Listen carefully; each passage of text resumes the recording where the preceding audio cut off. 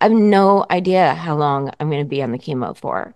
I have no idea if it's going to be, you know, three months or if it's going to be six months or if we're going to, you know, if after three months it's not working, if we're going to change again.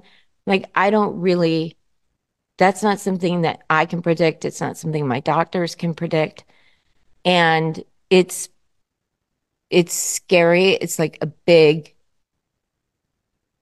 wake up call. At the same time, I got to say that there is some positivity there. And the positivity is that because my molecular structure of my cancer cells changed recently, it means that there's a lot more protocols for me to try. So, you know, for the first time in a couple of months, probably, I feel hopeful because there are so many more protocols now. Whereas before I was hopeful, but I was still getting prepared.